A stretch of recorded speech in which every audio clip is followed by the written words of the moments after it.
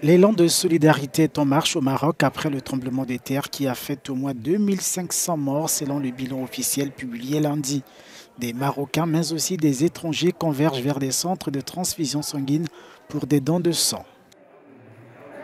Mon père m'a conseillé de venir donner mon sang car il y a un grand besoin dans les centres de transfusion sanguine.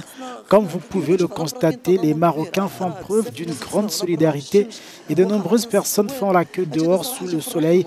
Cela fait chaud au cœur de voir l'engagement de nos citoyens et même des étrangers qui n'ont pas de lien direct avec la catastrophe. se sont joints à nous. C'est une belle chose.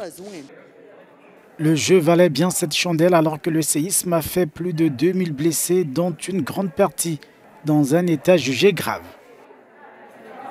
Je suis tombé sur l'annonce de la campagne sur Internet qui soulignait le besoin urgent de dons de sang pour aider les habitants du village d'Amzizmiz et d'autres zones touchées à Marrakech. Avec les nombreux blessés de cette tragédie, il était impératif d'être là pour soutenir ceux qui sont dans le besoin. Les Lions de l'Atlas sont invités dans cet élan. Les demi-finalistes de la dernière Coupe du Monde ont fait aussi don de leur sang dans un centre médical de la ville d'Agadir. Ah c'est une situation qui n'est est pas évidente, euh, une épreuve difficile.